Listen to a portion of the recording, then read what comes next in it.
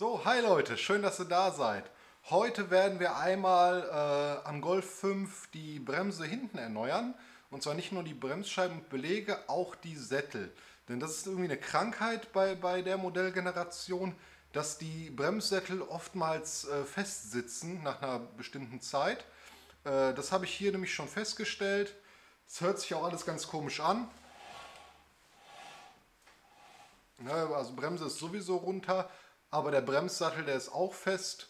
Ähm, daher habe ich direkt mal zwei neue Bremssättel bestellt. Die sind nicht teuer, die Dinger. Ähm, wie gesagt, heute zeige ich euch mal anhand einer Seite, wie das Ganze funktioniert. Beachtet bitte, dass nach so einem Tausch von einem Bremssattel auf jeden Fall äh, die Bremsanlage entlüftet werden muss. Das heißt, wir müssen äh, nach der ganzen Prozedur einmal rund um äh, die Bremsflüssigkeit äh, erneuern, da wir natürlich viel Luft im System haben werden und wir dann natürlich das Problem hätten, dass wir kaum bis gar keine äh, Bremswirkung dann auch haben. Also wie gesagt, achtet darauf, nach dem äh, Bremssatteltausch auf jeden Fall die Bremsflüssigkeit äh, zu wechseln. So wie man hier schon hören kann, hört sich das alles schon mal nicht so ganz gesund an. Deswegen schauen wir einfach mal, was uns darunter erwartet. So, mal gucken, wo So, hier ist auch meine Nuss. Zack. Volle Power.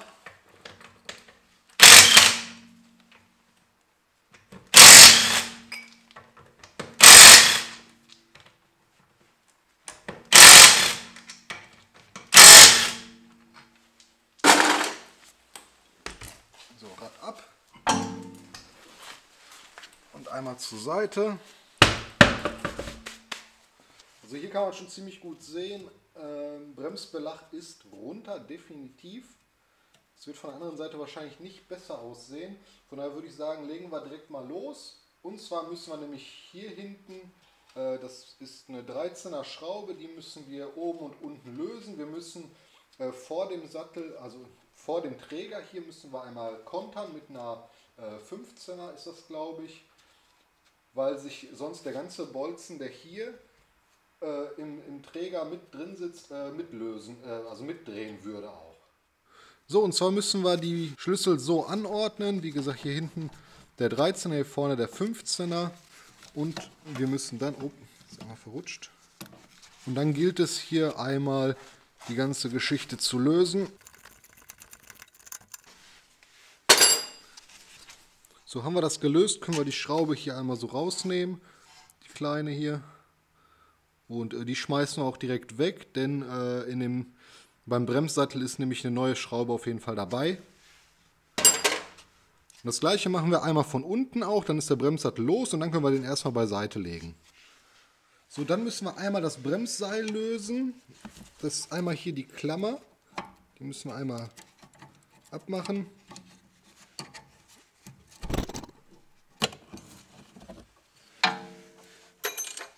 Und einmal den Bremszug hier einmal raushebeln. Dafür drücken wir das Teil hier einmal nach vorne und schieben das Bremsseil hier unten einmal raus. Dann hängt das hier auch frei. Jetzt hängt der Bremssattel nur noch an dem äh, Bremsschlauch hier. Den machen wir aber zuletzt ab, weil da läuft uns dann nämlich sonst die ganze Bremsflüssigkeit raus. Das wollen wir ja nicht, dass uns hier alles volltropft. Deswegen machen wir das zum Schluss und machen den Bremssattel erstmal vom Bremssattelträger ab. Dafür hebeln wir den einfach mal hier so weg.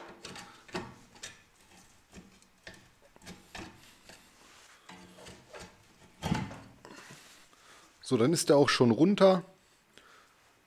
Man sieht hier auch schon ganz gut, der ist komplett ausgefahren, also wirklich schon eigentlich auf Maximum. Legen den jetzt erstmal so zur Seite.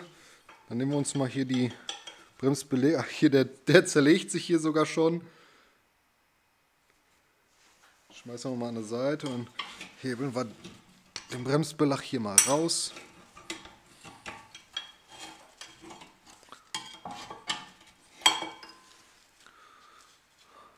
Übersehen könnt, der ist soweit defekt. Der ist auch ziemlich weit runtergefahren schon, also das ist absolute Grenze schon. Die gleiche Geschichte hinten.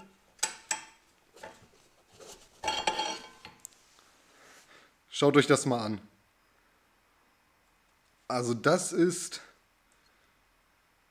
das ist der Ultrahammer auf jeden Fall. Also hier ist der Bremsbelag so weit runtergefahren, dass er nur noch auf dem Trägerblech gebremst hat. Das ist natürlich, boah, wie das aussieht, ey. Das ist echt der Hammer. Ich will gar nicht wissen, wie die Bremsscheibe aussieht. Aber äh, die machen wir jetzt mal ab und schauen uns das mal an. Also das ist hier echt, ja, eigentlich Katastrophe. So, Bremsscheibe ab. Das heißt, hier einmal die Schraube lösen.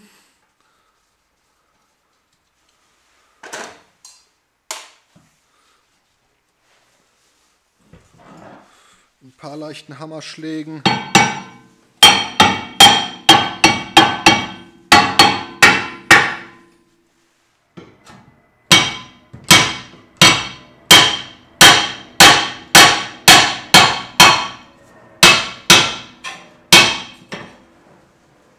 Die Bremsscheibe nehmen wir dann einfach runter. So, gucken uns die hier mal an. Also das ist das ist richtig heftig. Also, ja, sowas habe ich jetzt auch noch nicht gesehen. Also das ist... Also ich würde sagen, der kommt nicht mehr durch den TÜV. Weil das ist äh, absoluter... Absolut, also es ist wirklich nur noch Metall auf Metall. Das ist extrem riefig. Also da haben wir Riefen von fast einem Millimeter drin. Man sieht auch hier die Kante Also nee, also die, die weg, weg, weg, weg, weg, weg. Weit weg. In dem Fall müssen wir jetzt äh, den Bremssattelträger auch äh, nicht abmachen, weil die Bremsscheibe ja so gut da drumrum geflutscht ist. Weil die so gut da drumrum geflutscht ist, die Bremsscheibe, deswegen lassen wir den drin und kümmern uns jetzt mal um den Bremssattel hier. Das ist der Bremssattel. Wir ziehen hier einmal Also einmal muss hier dieses, also das, der Bremszug muss einmal hier rausgezogen werden noch. Da blockiert das noch ein bisschen.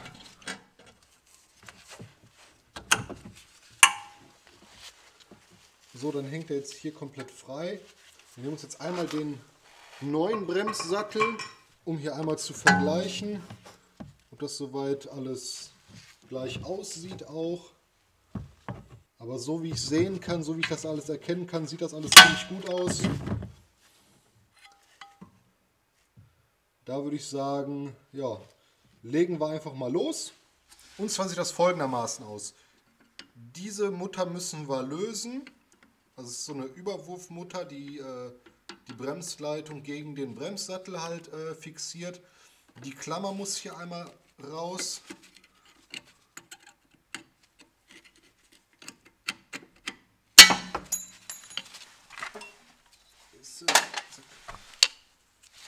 Ne, weil wir dann die ganze Bremsleitung äh, hier einmal durchziehen werden und dann in den neuen Sattel einmal einfädeln. So zum Lösen nehme ich mir hier einen 11er Bremsleitungsschlüssel. Also nutzt am besten auch wirklich so einen Bremsleitungsschlüssel, weil äh, im Gegensatz zu einem normalen Mausschlüssel greift der auf mehreren Punkten und dadurch besteht nicht die Gefahr, dass wir ähm, ja, die, die ganze Mutter hier rund drehen. Sind hier einmal dann lösen. So, die ist, der ist auch ganz los, sehr gut. Legt euch irgendwie ein Gefäß äh, auch drunter, falls da irgendwie Bremsflüssigkeit austreten sollte. Also nicht falls, sondern es wird definitiv Bremsflüssigkeit auslaufen.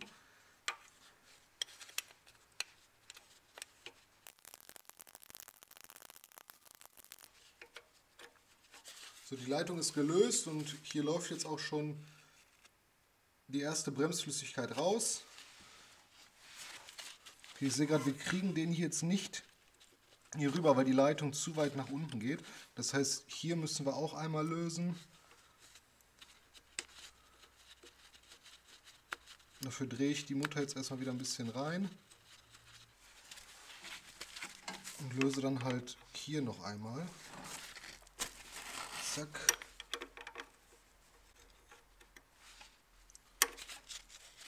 Das bin ich auch schon per Hand hier abgedreht. Sehr gut. So, habe ich die Leitung in der Hand und kann dann die Bremsleitung hier rausnehmen. Oh, da kommt sogar nichts raus, also nicht wirklich viel. Das ist schon mal gut. Deswegen können wir jetzt die neue Leitung hier, also den neuen Bremssattel hier so einmal reinsetzen. Einmal die Klammer direkt schon mal draufsetzen wieder, damit uns der Schlauch hier nicht abhaut.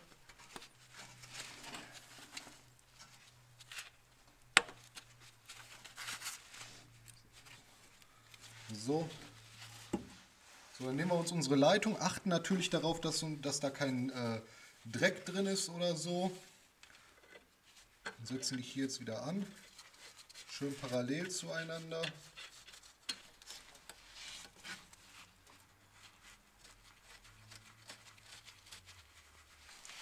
Und ziehen unsere beiden Leitungen dann wieder mit dem Bremsleitungsschlüssel an.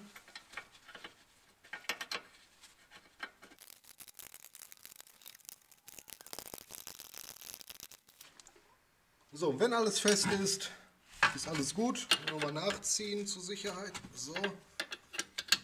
Ja, alles fest. Dann kann es auch weitergehen. Wir können den, äh, den Bremszug wieder einfädeln. Das heißt hier das Gerät einmal hier wieder durchschieben. Die Tülle komplett mit durchziehen auch. So. Und dann hier unten einhängen.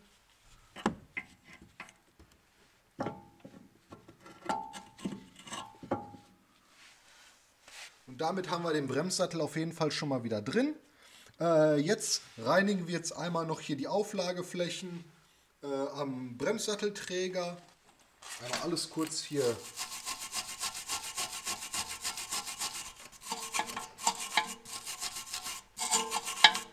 sauber machen schön.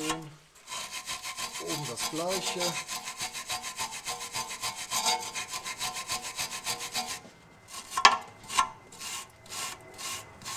Hatten aber auch ein bisschen.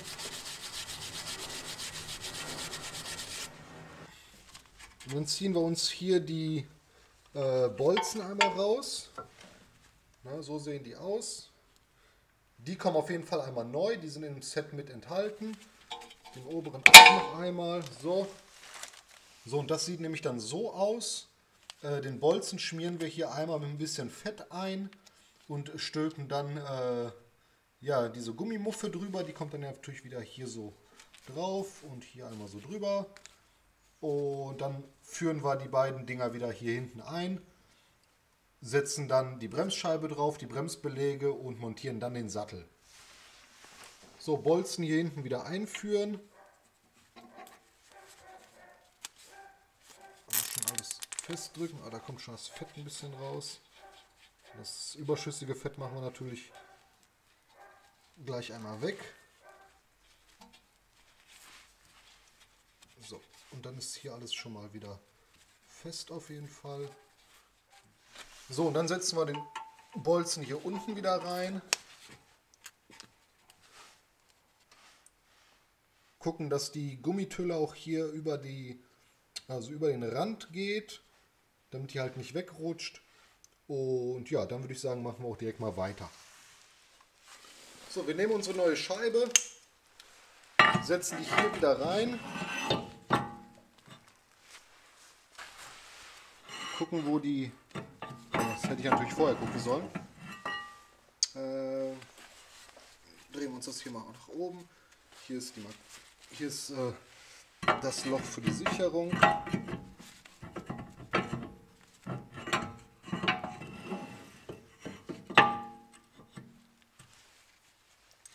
Schrauben unsere kleine Schraube hier wieder rein.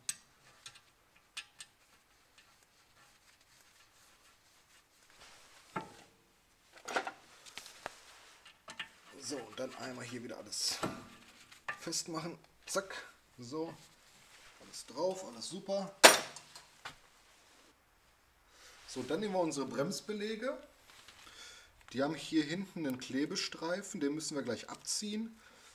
Die hier wieder reinsetzen und dann den Sattel äh, wieder drüber ziehen. Und dann kleben sich die, ja, die Belege halt an den Sattel so ein bisschen. Wie gesagt, vorher einmal hier noch kurz an den Ecken, an den Gleitstellen äh, ein bisschen Bremsenservicepaste drauf und dann ist auch gut.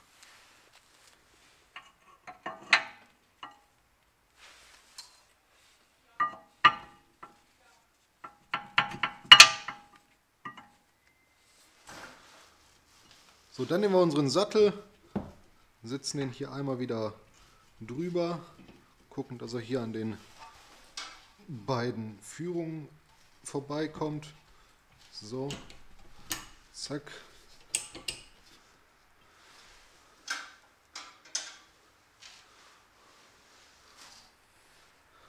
Und schrauben dann die beiden Schrauben wieder rein. Also wie gesagt, da auf jeden Fall neue. Gerade gesehen, bei den äh, Bremsbelegen waren auch neue Schrauben dabei. Ich nehme jetzt einfach die, die bei den Sätteln mit dabei waren. So, einmal fixieren. Jetzt sieht man hier schon, dass sich das alles ein bisschen mitdreht. Das ist klar, wir müssen hier jetzt einmal wieder gegenhalten. Ich versuche jetzt erstmal noch hier unten die eine reinzumachen.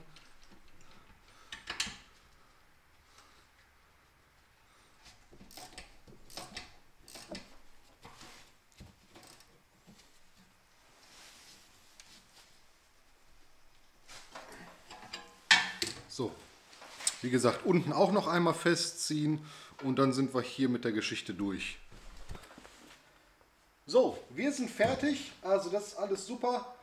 Äh, wie gesagt, einmal noch Bremsflüssigkeit entlüften auf jeden Fall. Vorher mal die Bremse mit dem Bremspedal auf Druck pumpen kurz. Na, dann stellt sich auch äh, das Bremsseil auf jeden Fall nach. Wie gesagt, ah, jetzt habe ich hier gesehen, die Klammer natürlich nicht vergessen, die muss hier wieder drauf. So, damit das Ganze auch hier schön fest ist. Und wie gesagt, wenn euch das Video gefallen hat, lasst einen Daumen hoch da und ich würde sagen, wir sehen uns beim nächsten Mal. Macht's gut, ciao!